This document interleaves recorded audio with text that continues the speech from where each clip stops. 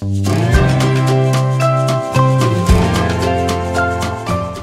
everyone welcome back to my channel welcome to another new blog তো আজকে এই হ্যালিফ্যাক্সে অফিসিয়ালি বলতে পারো ফার্স্ট স্নোফল হচ্ছে।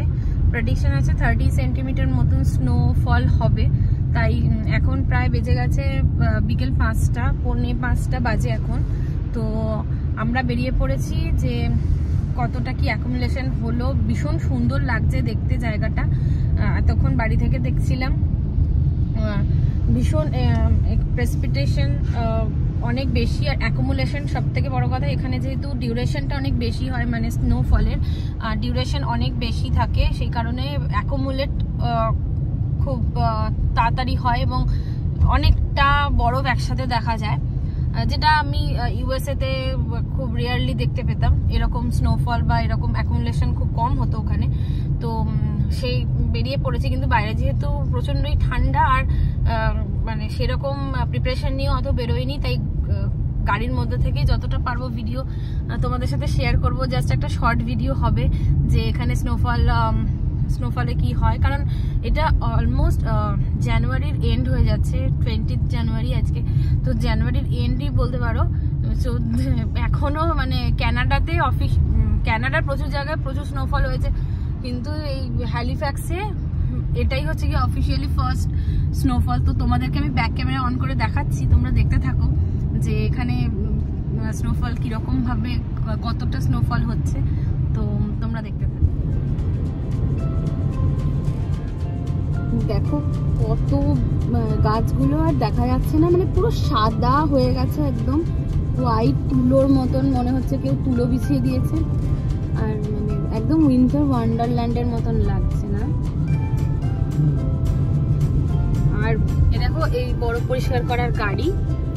এখন স্নোফলটা একটু যেহেতু কমেছে, তো এখন বেশ ভালোই মানে খুব একটা খারাপ দেখছি না মেনটেনেন্স যতটা ভেবেছিলাম বা লোকজনের কাছে শুনেছিলাম মেনটেনেন্স করতে পারে না। আসলে হ্যাঁ যখন স্নো প্রচুর পড়ছে তখন সাথে সাথে মানে পরিষ্কার করার সাথে সাথে আবার পড়ে যাচ্ছে, তখন তো পরিষ্কার করেও কোনো লাভ নেই। বাট এখন যেহেতু দেখো স্নো পড়া অনেকটাই কমে গেছে, তো সেই কারণে এখন মানে রাস্তাগুলো পরিষ্কার করছে। দেখতে পাবে রাস্তা মোটামুটি সবটাই পরিষ্কার।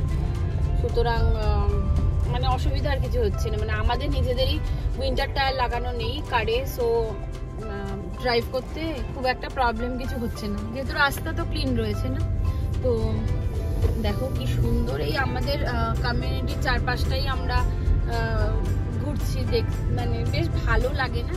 এ দেখো, বলছিলাম না বাস চলাচল করছে যে বাস ঠিকঠাকই আছে, ওই যে ওইদিকে আরেকটা বাস ফেরার। তো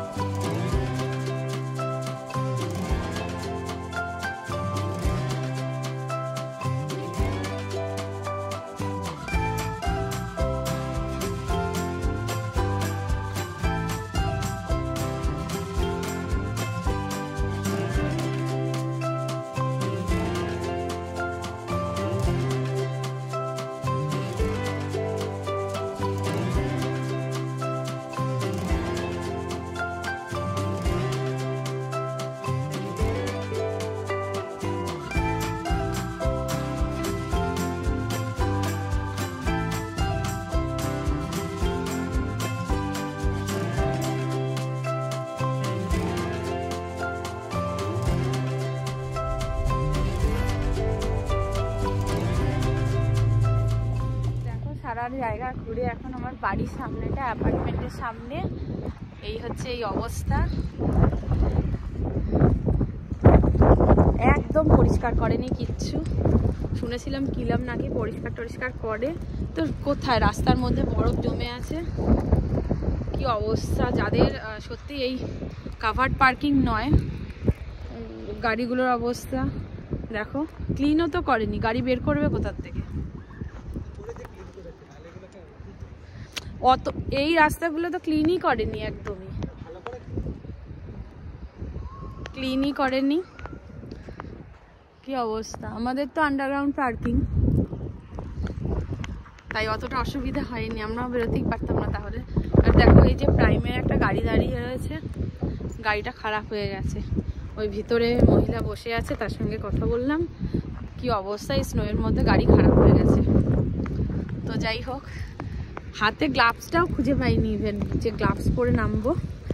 ঠান্ডাও লাগছে হেভি